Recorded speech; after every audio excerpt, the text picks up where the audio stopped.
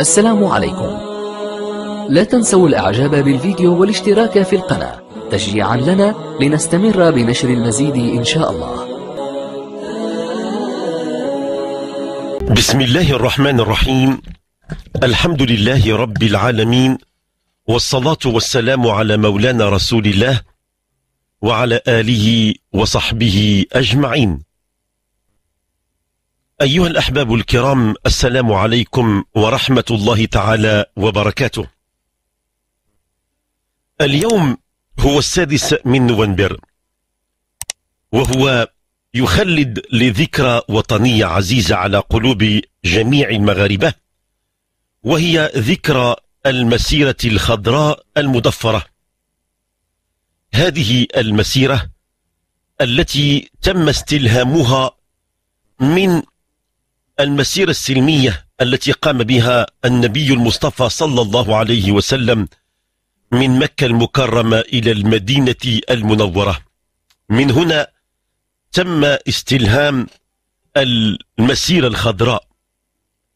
المغرب كان آنذاك محتلا من طرف القوات الإسبانية في أراضيه الجنوبية. وجاءت المسيرة الخضراء لكي ينتفض المغاربة أجمعون تحت القيادة السامية أنذاك للمغفور له صاحب الجلال الحسن الثاني تغمده الله في وسع رحمته.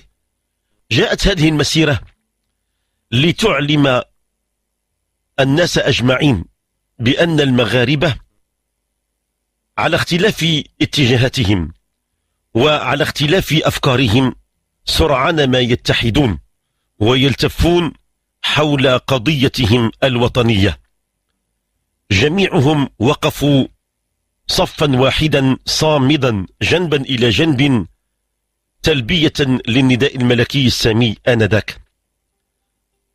نستحضر وإياكم صفحات مشرقة من هذه المسيرة الخضراء التي شارك فيها سائر طبقات المواطنين.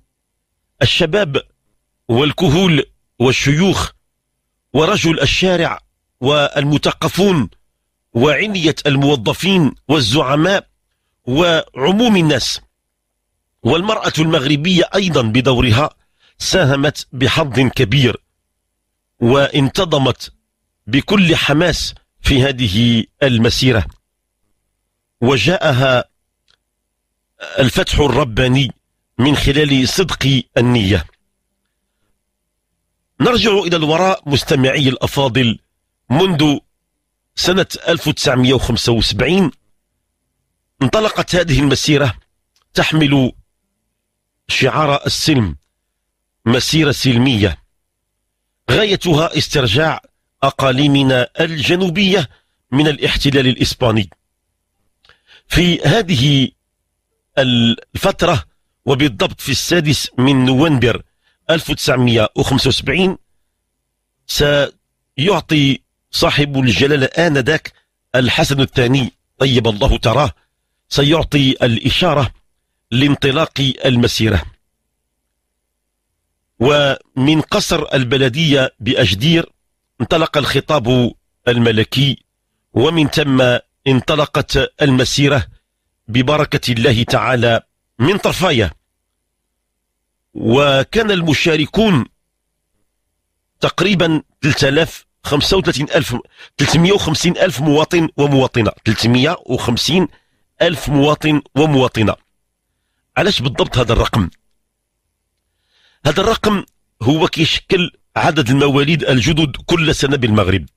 كان المغرب يزداد كل سنة ب 350 ألف نسمة. فكان هذا العدد الذي تم اختياره تبركا بعدد المواليد الجدد. ومن ثم فتحت الأقاليم والعملات فتحت مكاتبها لتلقي طلبات التطوع وتم انتقاء 350 ألف من المشاركين والمشاركات مع تحديد كوطة مسبقة للنساء 10% بمعنى أن عدد النساء كانوا 35 ألف امرأة. وكان المؤطرون والإذاريون والأطباء والممرضون بأعداد هائلة. الأطباء كان تقريبا ما يزيد عن 500 طبيب وممرض. وكان المؤطرين ما يزيد عن 44 ألف مشارك من المؤطرين والإداريين.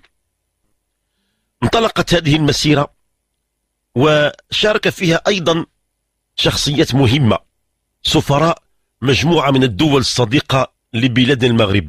في مقدمتهم سفير المملكة العربية السعودية وأيضا سفير الأردن وسفير قطر وسفير الإمارات وسفير سلطنة عمان وأيضا السودان والجابون والسنغال. هذو كلهم كانت تربطهم مع المغرب علاقات صداقة حميمية في تلك الفترة. كما شارك أيضا الأمين العام لمنظمة المؤتمر الإسلامي. انطلقت هذه المسيرة والناس كانوا يحملون الأعلام المغربية في يدهم والمصحف الشريف في اليد الأخرى. هذا هو السلاح. لم يكن الناس يتسلحون بسلاح بدبابات ولا ببنادق ولا بقنابل ولكن كان سلاح المشاركين المتطوعين هو القرآن العظيم في اليد اليمنى. والعلم المغربي في اليد اليسرى. هذا تأكيد على أن هذه المسيرة مسيرة سلمية. انطلقت بنظام ودقة كبيرة. حينما بدأت العملية تسير إسبانيا كانت تتابع بقلق شديد هذه المفاجأة الغير منتظرة. ومن ثم بدأت تحشد إسبانيا آنذاك مجموعة من آه، خططها من أجل التخويف وانتقاد هذه المسيرة وطالبت بعقد مجلس اجتماع بمجلس الأمن لتوقيف هذه المسيرة. لكن هذا الزحف كان قويا وانطلقت الوفود رغم أنهم قالوا بأن هناك حقول ألغام وهناك آه، مخاطر في الطريق ولكن كانت هناك واحد العزيمة قوية للمشاركين والمشاركات. وفعلا حققت هذه المسيرة نجاحا منقطع النظير على المستوى الشعبي والإقليمي والعالمي. ومن ثم اضطرت إسبانيا للعدول عن موقفها المناوئ للمغرب. واضطرت على أنها تبحث لمشاكلها في قضية الصحراء عن طريق المسألة الدبلوماسية. وآنذاك لما اقتنعت إسبانيا بأنها لا, لا مقام لها هناك. أعلن آنذاك جلالة الملك حسن الثاني رحمه الله تعالى أن المسيرة قد حققت المرجو منها. وطلب من المشاركين في المسيرة بالرجوع إلى نقطة الانطلاق إلى مدينة طرفايا. في هذه المسيرة شارك فيها الناس على اختلاف أشكالهم وألوانهم. الدافع عندهم كان هو الروح الوطنية التي كان يتميز بها الإنسان المغربي في تلك الفترة في السبعينيات من القرن الماضي. كانت هناك روح وطنية قوية وقوية جدا. رغم المخاطر ورغم الظروف الاقتصادية الصعبة ولكن كان هناك حب للوطن وتشبت بكل شبر من البقعة المغربية. لا شك أن ما يسمى بجبهة البوليزاريو هي أيضا تأسست لكي تخلق العرقلة بعد ذلك. وكان هذا بدعم جزائري وأيضا بدعم من إسبانيا. الجبهة البوليزاريو كيان مصطنع حاولت أن آه، تعرقل جهود المغرب لاستكمال وحدته الترابية. ومن تلك الأثناء ولا زال الصراع. مرت 43 سنة. على هذا الحدث وما زال الصراع قائم. لكن المغرب ولله الحمد آه، لقي دعما كبير من مختلف دول العالم خصوصا آه، فرنسا والولايات المتحدة الأمريكية والدول الإفريقية وأيضا جامعة الدول العربية كلها باستثناء الجزائر. المغرب كما يعلم الجميع حاول بجميع الطرق للم الشمل ووحدة الصف ولعل الخطاب الملكي السامي الذي ألقاه جلالة الملك محمد السادس حفظه الله قبل هنيهة واستمعنا له جميعا بإمعان آه، يدل بصدق وصراحة كيف أن المغرب ساهم ولا زال يمد يديه من أجل التسوية الوضعية بطريقة سلمية. حتى إنه أعطى مقترح الحكم الذاتي ولكن أبدا لا زالت الأمور عالقة. ما يهمنا في هذا هو أن المبادرات المغربية للم الشمل القضية الصحراء وأقاليم الجنوبية كانت دائما مشرفة فالمغرب يؤمن بحق الجوار ويؤمن بكرم الضيافة ويؤمن بالعمل الدبلوماسي ويريد أن يمد يده البيضاء للآخر من أجل أن نعيش كلنا بسلم وسلام وأمن وأمان. هذه المسيرة لا تزال متجددة. كانت مسيرة خضراء لتحرير باقي البقاع المغربية وإنها لمسيرة متجددة مسيرة للتنمية ومسيرة لمحاربة الفقر والهشاشة ومسيرة أيضا لبت روح الوطنية في قلوب الشباب وعقولهم ومسيرة لبناء الوطن. جميعنا نذكر ذلك القسم قسم المسيرة الخضراء الذي كنا ونحن صغار نردده في المدارس العمومية وكنا فرحين وكنا مسرورين بأن نردده في المناسبات السعيدة. قسم المسيرة الخضراء الذي يقول أقسم بالله العلي العظيم أن أبقى وفيا لروح المسيرة الخضراء مكافحا عن وحدة وطني من البغاز إلى الصحراء. أقسم بالله العلي العظيم أن ألقن هذا القسم أسرتي وعطرتي في سري وعلانيتي والله سبحانه والرقيب على طويتي وصدق نيتي.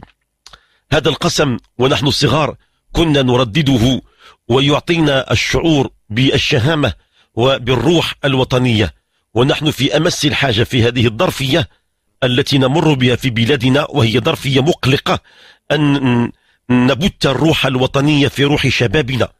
ونبت الأمل في روح عموم المواطنين من أجل مغرب قوي ومتماسك وسلمي. وكلنا نردد في المخيمات الصيفية. كنا نسعد ونحن نردد نشيد المسير الخضراء الذي يقول لازلنا نحفظه عن ظهر قلب يقول صوت الحسن ينادي بلسانك يا صحراء فرحي يا أرض بلادي أرضك صبحت حرة. مرادنا لازم يكمل بالمسيرة الخضراء. مسيرة أم وشعب بولاده وبناؤه شعارها سلم وحب والغادي سعداته. حاملين كتاب الله وطرقنا مستقيم. إخواننا في الصحراء يسألون الرحيم. يا قاصدين الصحراء أبوابها مفتوحة. مسيرتنا الخضراء نتيجة مربوحة. فيها أمن وسلام. تاريخ مجد الوطن. بلا حرب بلا سلاح. معجزة الزمن. هكذا كانت المسيرة الخضراء المضفرة. أيها الأحباب الكرام لن أطيل عليكم. أفتح خطوطنا الهاتفية لكي نفتح النقاش حول هذه المسيرة الخضراء. ربما هناك ذكريات جميلة للمشاركين والمشاركات. أو لآبائهم ولأجدادهم. نتمنى أن نستمع إلى إلى مكالمات وشهادات حول هذه المسيرة وحول أيضا متمنيتنا للوطن الآن. كيف نتصور الوطن الآن؟ كيف يمكن أن نقول بأن المسيرة لازالت مستمرة؟ مسيرة التنمية مسيرة الرفع في المستوى الاقتصادي والاجتماعي مسيرة المحاربة الفقر والهشاشة. مسيرة السلام والمحبة والوئام للجميع. أرقامنا مفتوحة في وجه الجميع. كالعادة هي 05 22 88 00 60 أو 61 أو 62 أو الرقم الهاتفي 05 22 46 72 50 أو 51 أو 52 مرحبا بالجميع. السلام عليكم.